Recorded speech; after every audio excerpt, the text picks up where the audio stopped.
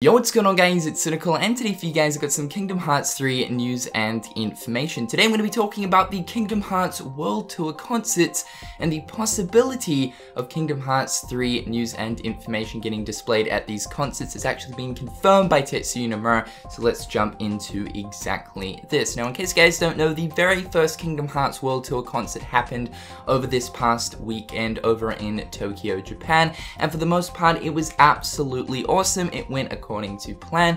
Now in terms of any announcements or anything getting revealed or displayed at the actual event itself, nothing really substantial ended up getting displayed other than the announcement of Kingdom Hearts Union Key. This is actually where the very first announcement of this whole Union Key thing uh, got displayed, so if you want to talk about any announcements and stuff, this really is the shining announcement that came out of the very first concert. Now as of recently, a lot of people have been talking about the factor of if Kingdom Hearts Hearts 3 information will be getting displayed at the very first concert or future concerts or not. And the reason why people have been talking about this is at the start of this year, Tetsuya Nomura mentioned that, of course, you know, the Kingdom Hearts World Tour concerts will be happening this year to, of course, commemorate 15th anniversary of Kingdom Hearts, but he was talking about the fact that these concerts might actually be possible hotspots to present new Kingdom Hearts 3 information, it's just during that time he hadn't made up his mind whether he was going to go through with it or not. Now Famitsu has recently interviewed Tetsuya Nomura talking about the concerts,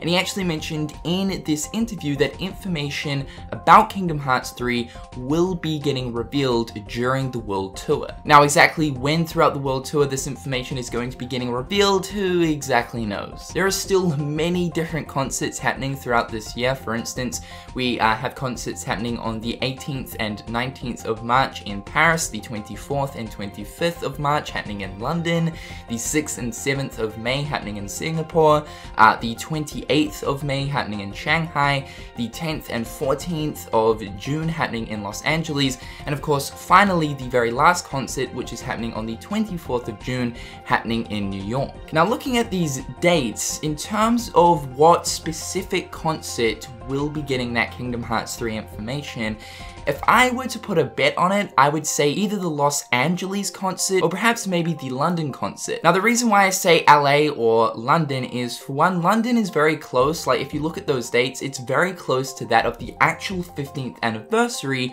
of Kingdom Hearts. And of course, as you guys should probably know, we've been talking a lot about this lately, but I think it'd be really cool if uh, Square Enix would actually come out and give us a brand new Kingdom Hearts 3 trailer to say, hey guys, here's a brand new trailer. We know it's been a long ass time here's a little way of celebrating the 15th anniversary of this franchise. However, looking towards the Los Angeles date, it's actually happening around the time of E3, and as you guys should probably know, E3 is like the biggest sort of gaming event throughout the year that happens yearly and that's where like all the reveals and like new information and stuff get revealed so it would kind of make sense to sort of coincide a concert that actually has Kingdom Hearts 3 information with E3 itself. Now I'm going to talk about this more in depth in a few days in its own separate video but as you guys should probably know winter is coming to closure very very quickly.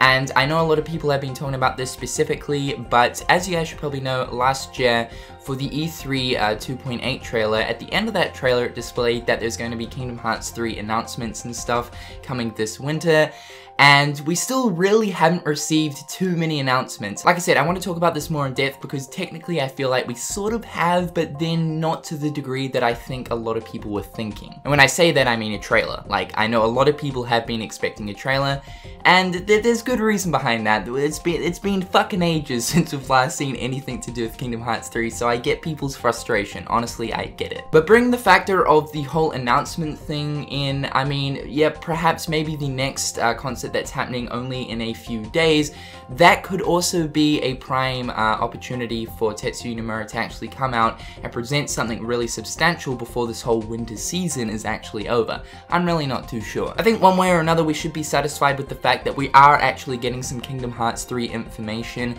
throughout uh, the tour. Whenever that's happening, who exactly knows, I've got no fucking idea. But I think it's satisfying as hell to know that we are actually getting some Kingdom Hearts 3 information. Sometime from now up until, of course, halfway through the year, being that of June. So once again, we're playing the waiting game, but uh, we'll just have to wait and see what the rest of this month brings us. Alright guys, hopefully you're having a fantastic day. Thought I'd get this news and information out to you dudes because it's really good to know that at some stage within these next three months, we're going to be getting some Kingdom Hearts 3 information, which is always good. Hopefully you guys having a fantastic day, and until next time, I'll catch you guys later. Peace.